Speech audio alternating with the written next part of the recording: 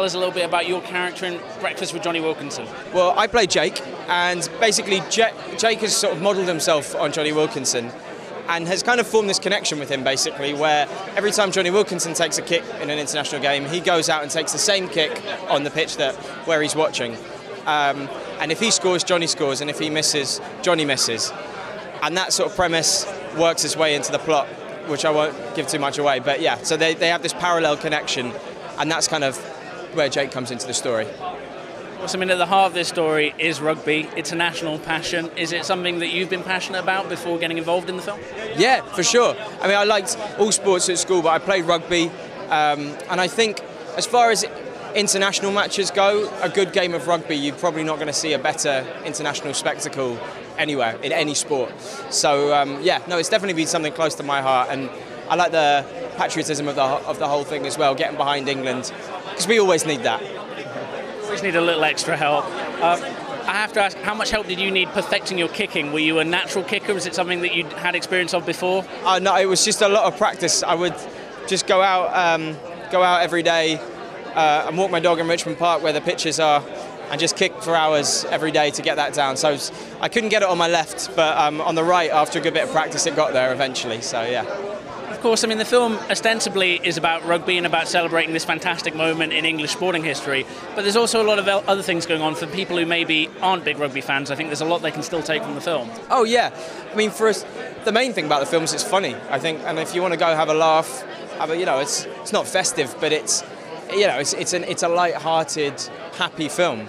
Um, but it but it's it's about as you say it's rugby's a backdrop it's more about the different characters coming together and the dynamics that are formed and how they clash or how they come together and interweave. And that's the thing about setting it in the rugby club.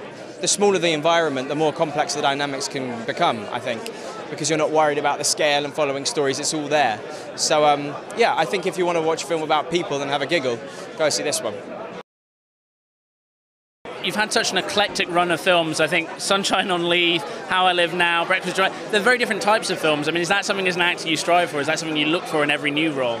Yeah, completely. I mean, it's it's firstly about the story and being part of, of whatever story you know what you're attracted to in the character, and therefore you know I'm attracted to many different types of stories and characters, and I want to strive to be as you know as eclectic as possible with the decisions that I make. So, you know, while I can have a, while I can have a chance to, um, yeah, I want to do as many different things as possible. Of course, I mean, you're still such a young performer, but you've already had a chance to work with some great established actors and some other young talents. Um, who do you think you've learned the most from? Has anyone had any particularly good advice for you? Um, thing is, it's I mean, it's it's funny. All the like the actors I've been lucky to work with, they don't necessarily put advice on you. It's not like they'll sit you down, and give you pearls of wisdom, because they're all very. You know, I've been very lucky. Everyone's been very, um, for want of a better term, normal. You know, very relaxed. But it's more something you observe from a distance, just the way they operate on set. Um, I learnt a lot from an actor called Eddie Marsan, who was fantastic. Um, and just, yeah, so it's kind of more observing from a distance rather than sitting them down and quizzing them on it. What's the next challenge for you at the moment? What's coming up next? Uh, I'm filming at the minute uh, a film called Pride, uh, which is about uh, the gay rights activists in the 80s who started collecting for the miners on strike and formed this um, connection with this group in Wales and uh, so it's about the, two, the sort of twinning and unity of two communities, really. So that's what I'm doing at the moment, and uh, then another film coming out next year is a film called Bypass. So, uh, so that's me. Starting with Pride, um, what was it that excited you about that story, and, and, who are you working with? Can you tell us a bit more about the rest of the cast? Uh, well, I'm not sure how much I can say about the cast just yet, but it's it's more the story in general. I mean, I'd, I'd never heard of it. This um, these gay rights activists and the amount they did. They were one of the biggest fundraisers for this Onllwyn village in Wales, uh, and it was then the um, you know this connection that they had with the miners was just amazing. Um, and I know it's that's the thing is on a it's you can look at it on a surface. Again, it's a film about people, but on a surface level, two groups of people you wouldn't usually put together. That's that's what um, attracted me about the project after that, you've got Bypass. Um, can you tell us anything about that, what that's about, or who you play? yeah, Bypass is directed by um, a director called Duane Hopkins, who did a film called Better Things. Um, and he was uh, he's a really interesting director, and I learned so much working with him. And that that's the story of um, of a boy called Tim just trying to do whatever he can to get by to to fund him and his sister living. Uh, and it's an observation on a number of things, you know, fatherhood.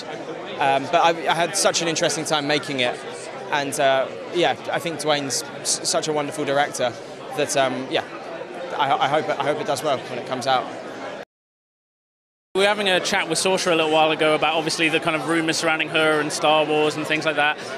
Are those kind of things interesting for you? I mean, would you like to be a part of a big franchise like that? I mean, Star Wars or some of the superhero stuff that's going on at the moment? I think so. I mean, I, w- I would love to. I, again, it's it's about the individual story. It wouldn't. I would never want to do something for the sake of doing something, being a franchise to being a franchise. If you feel a connection with that story and and those those films, because you know some of them aren't so much my cup of tea, but some of them I think are incredible films. I love the Avengers, and um, you know, I, I, to be part of something like that, to be part of something of that quality, is mainly what would attract, rather than just being in it for the sake of being in it. So. My final question before I let you go and enjoy the rest of your night: Do you have a message to fans about why they should be coming out to see Breakfast with Jonny Wilkinson? Why they should be rushing to the cinema? You should come out and see it um, because it's funny, and I think you'll have a really great time. It's not going to be what you expect, and so I think you should come and see it.